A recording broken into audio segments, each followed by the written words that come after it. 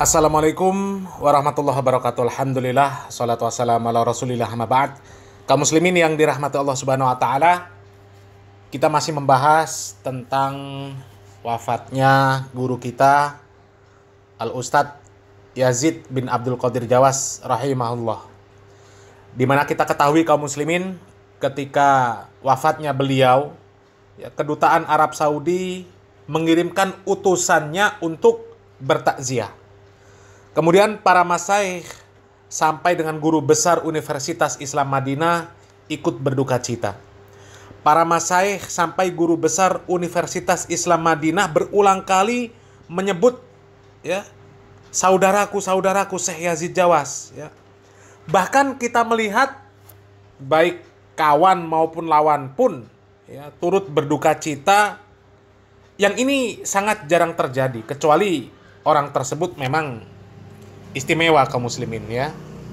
Kita tahu begitu banyak ya tokoh-tokoh ya baik eh, ormas-ormas mereka memberikan ucapan bela sungkawa dan turut mendoakan Ustadz Yazid bin Abdul Qadir Jawas rahimahullah. Ya dari Robitoh Alawiyah mereka memberikan ucapan ya turut berduka cita, mereka mendoakan. Kemudian ada Kiai Ma'ruf Ghazin di mana beliau tokoh aswaja, kemudian Ustadz Adi Hidayat, Ustadz Abdul Somad, ya, dan masih banyak lagi mereka yang memberikan ucapan bela sungkawa dan mendoakan Ustadz Yazid bin Abdul Qadir Jawas dengan doa-doa yang baik kaum muslimin ya. Allahumma lahu warhamhu wa'afihi wa'fu anhu. Akan tetapi tidak sedikit juga yang kemudian dengan beredarnya berita tentang wafatnya Ustadz Yazid bin Abdul Qadir Jawas rahimahullah ini banyak sekali orang-orang terutama dari lawan dakwah ya, lawan dakwah sunnah para ahlul bid'ah yang mereka mengambil kesempatan untuk menyerang dakwah salaf kaum muslimin. Mereka menyerang orang-orang yang memberitakan tentang wafatnya Ustadz Yazid bin Abdul Qadir Jawas rahimahullah. Mereka mengatakan bahwasanya lo kenapa disiarkan Bukankah Ustadz Yazid mengatakan kematian tidak boleh disiarkan? Ya. Kemudian kenapa kok jenazahnya diangkut pakai ambulan? Bukankah Syekh Al Albani mengatakan bahwasanya ambulan itu adalah bid'ah? Maka kami tertarik dengan sebuah postingan dari Ustadz Dr. Muhammad Arifin Badri kaum muslimin di mana di dalam sebuah postingannya beliau ini membahas masalah tersebut kaum muslimin. Karena memang banyak sekali orang-orang yang mengatakan bahwa lo kenapa kok disiarkan, kenapa diberitakan. Bukankah Ustadz Yazid bin Abdul Qadir Jawas melarang untuk memberitakan kematian seseorang ya. ya coba kita baca postingan dari Ustadz Dr. Muhammad Arifin Badri Hafizahullah Ta'ala ya. Ini kaum muslimin postingannya. Hikmah dibalik info wafatnya Ustadz Yazid bin Abdul Qadir Jawas rahimahullah yang menjadi viral. Semua ada hikmahnya. Kalaupun beliau melarang penyebaran berita kematian di medsos secara mutlak, maka sikap banyak pihak yang membuat poster bela sungkawa, kemudian ucapan doa, dan yang lainnya itu adalah bukti bahwasanya mereka ini tidak fanatik kepada beliau.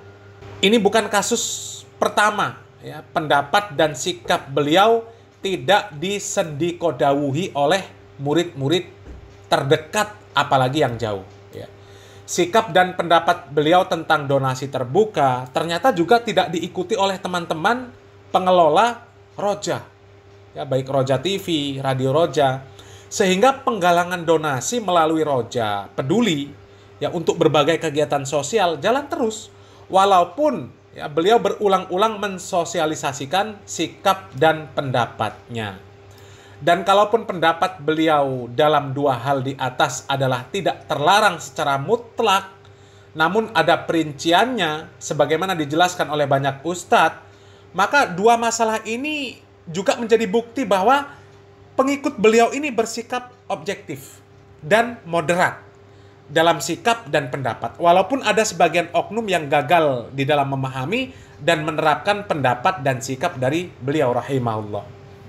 Ya, jadi semoga mencerahkan, kata beliau ya. Bila belum cerah, silakan ekspresikan perasaan Anda di kolom komentar ya. Kawan, nantikan pendaftaran STDI Imam Syafi'i untuk tahun depan 2025-2026 Bersama kita belajar membiasakan diri berbaik sangka dalam berbagai keadaan kepada sesama muslim dengan tetap waspada ya. Jadi untuk yang mau menempuh pendidikan tingkat uh, perguruan tinggi silahkan ya mendaftarkan ke STDI Imam Syafi'i Jember ya di sana ada Ustadz Ali Musri, ada Ustadz Syafiq Riza Basalamah, ada Ustadz Dr. Muhammad Arifin Badri dan yang lainnya yang insya Allah yang akan memberikan ilmu kepada para mahasiswa yang ada di sana nanti ya. Nah, kaum muslimin, kita kembali ke pembahasan kaum muslimin.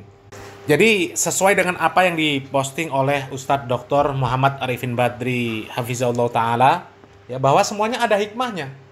Ya, jadi, kalaupun beliau rahimahullah, Ustadz Yazid bin Abdul Qadir Jawas rahimahullah, melarang penyebaran berita kematian di medsos, ya, maka sikap dari para jamaah, sikap dari para asatid yang mereka membuat poster, kemudian membuat ucapan bela sungkawa, ya, yang menunjukkan informasi bahwasanya Ustadz Yazid rahimahullah meninggal dunia, itu bukti bahwasanya jamaah beliau, para asatid yang junior, ya, di bawah beliau, mereka tidak fanatik buta kepada Ustadz Yazid bin Abdul Qadir Jawas rahimahullah. Meskipun Ustadz Yazid bin Abdul Qadir Jawas ini adalah guru mereka, sekaligus orang tua mereka. Tapi mereka tidak fanatik buta. Tidak seperti kelompok-kelompok yang lain. Yang mereka ta'asub, yang mereka hulu kepada tokoh-tokoh mereka. Ya, pokoknya kalau tokohnya mengatakan apa saja, manut, ya, percaya saja. Meskipun cerita khurafat ya percaya saja. Ya, kalau ada yang cerita bahwa ada seorang wali yang dia bisa mandi sendiri ketika meninggal dunia, ya mandi sendiri tapi nggak sholat sendiri, nggak nguburkan sendiri ya, cuma mandinya sendiri, mengafankan di kafani dan lain sebagainya. Itu percaya saja. Kemudian ada wali yang sehari bisa baca Al-Quran khatam 360 ribu kali. Ya, ya percaya saja. Ada wali yang bisa mengislamkan orang yang sudah mati, percaya saja. Ada wali yang katanya lututnya dicium oleh Nabi Muhammad SAW, ya percaya saja.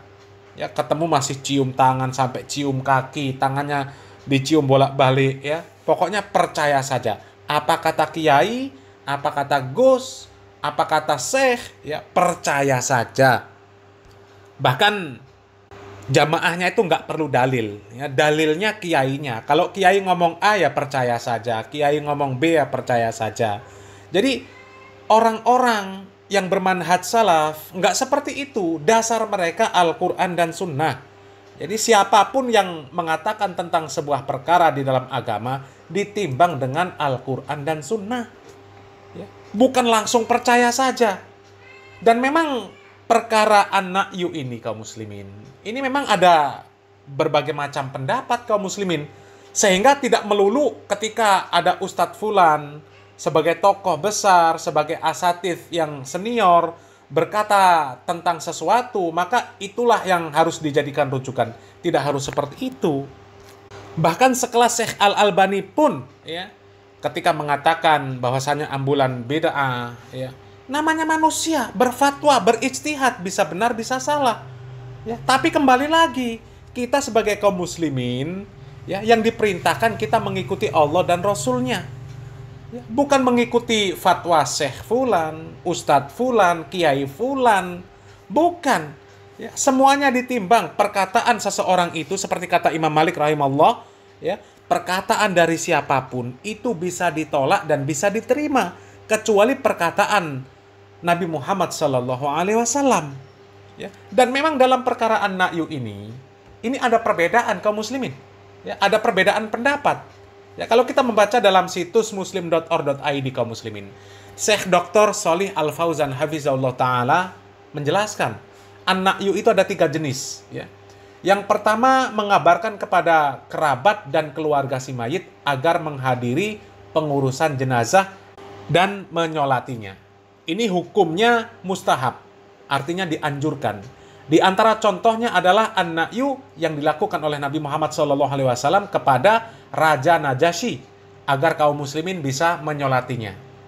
Kemudian yang kedua, an-na'yu yang dimaksudkan untuk berbangga diri, untuk menyombongkan diri dengan banyaknya orang yang hadir ini adalah anak yuk yang hukumnya makruh karena tidak memiliki maksud tujuan yang benar akan tetapi hanya bertujuan menyombongkan diri ya yang kemudian ketiga anak yuk yang merupakan ciri khas jahiliyah yaitu meratapi kepergian si mayit dan meninggikan suara bersuara keras untuk menyebut-nyebut kelebihan si mayit menghitung-hitung kebaikannya dan menyesali kepergiannya itu semuanya dilakukan secara berlebihan ini adalah an-na'yu yang haram. Ya. Ibnu Hajar al Asqalani rahimahullah beliau mengatakan an-na'yu tidak terlarang semuanya. Yang terlarang adalah jika serupa dengan yang dilakukan oleh orang-orang jahiliyah. Mereka mengutus orang untuk mengumumkan dengan suara yang keras tentang kematian seseorang ke rumah-rumah, ke gang-gang, ke pasar-pasar dan lain sebagainya. Wallahu alam bisawab ya. Yang seperti ini kaum muslimin ya menunjukkan bahwa jamaah Ustadz Yazid bin Abdul Qadir Jawas rahimahullah ya tidak fanatik tidak fanatik kepada beliau sehingga ketika beliau mengatakan sesuatu ya semuanya harus mengikuti tidak boleh menyelisihi ya bahkan Ustadz Yazid bin Abdul Qadir Jawas pun ya di dalam sebuah ceramahnya pernah mengatakan kita nanti ya ketika berhadapan kepada Allah Subhanahu wa taala kita tidak akan ditanya Kenapa kita menyelisihi Ustadz Fulan, menyelisihi Kiai Fulan, menyelisihi ulama Fulan, menyelisihi Syekh Fulan?